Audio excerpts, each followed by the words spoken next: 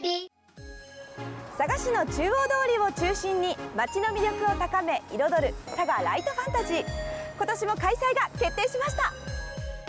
今日の佐賀市テレビは2020佐賀ライトファンタジー開催決定の話題です。今回は新型コロナウイルス感染症への影響も考慮しての開催ですね。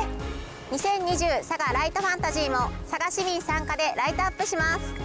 みんなで明るく盛り上げましょう佐賀駅前交番西交差点と駅前街角広場。このエリアは？西九州大学と佐賀女子短期大学の有志の皆さんによるライトアップ。テーマは祈り。新型コロナウイルス感染症の収束や収束後の明るい未来への祈りを込めバルーンモチーフのイルミネーションを設置しています。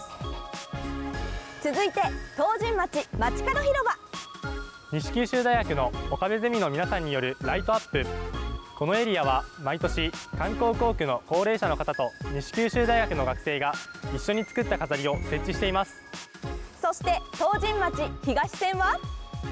佐賀商工会議所青年部と地元の学生の皆さんによるライトアップ。毎年大人気の光のトンネルが今年はパワーアップ。なんとトンネルの上にアンブレラスカイが登場します。私たちがいるここ水の里街角広場では佐賀大学メイクセンスの皆さんによるライトアップ。鳥居のような入り口やジャングルジムのようなオブジェクトが見どころです。綺麗な写真が撮れますよ。2020佐賀ライトファンタジーは10月29日からスタート。点灯時間は17時からです。